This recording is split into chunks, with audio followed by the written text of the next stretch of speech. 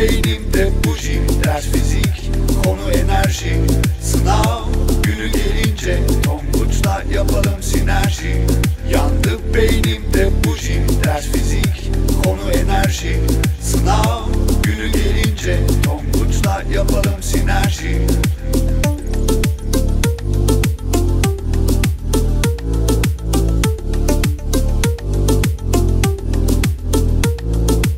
Enerjiler çeşit çeşit. Rüzgar, güneş, elektrik Nükleer ve ısı da var. Bizim derdimiz mekanik. Mekanik enerji iki çeşit. Potansiyel ve kinetik. Durum enerjisi potansiyel Hareket enerjisi kinetik Potansiyel enerji de ikiye ayrılır çekim ve esneklik diye. Çekim enerjisi yükseklikten esneklik cisimde depolanabilen Kinetik enerji harekettir, hareket zaten berekettir. Hızın karesi kinetik enerjiyi doğru orantılı etkileyecektir. Kinetik enerji artacaktır kütle ve hız artarken. Ama kinetik enerji için hız en belirleyici etken. Kinetik enerjinin karesi bölü 2 olarak ezberlenebilir.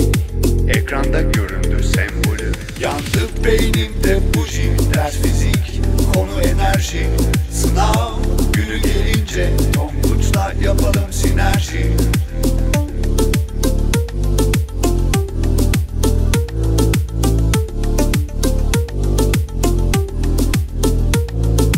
Potansiyel enerjinin meselesi yükseklik. Sanki yer çekiminin kuralına karşı geldik. Bakıverelim formülüne. Takılma yer çekimi ivmesine Kütle ve yükseklik önemli. P eşittir MGH Kütle aynı olsa bile önemli olan cismin şekli ağırlık merkezine göre değişir potansiyel enerji. Sıradaki enerji esneklik. Kuvvetle etki ettik. Kuvvet ortadan kalkınca hop eski hale dönüverdik. Cismin denge durumuna geri dönmesini sağlar. Geri çağrıcı formülünde F eşit K çarpı X yazar. EBE eşittir 1 bölü 2 çarpı K çarpı X'in karesi formülü söylemek kadar kolay Çıkan soruyu çözmesi Yandı beynimde buji ders fizik konu enerji Sınav günü gelince Tonguç'la yapalım sinerji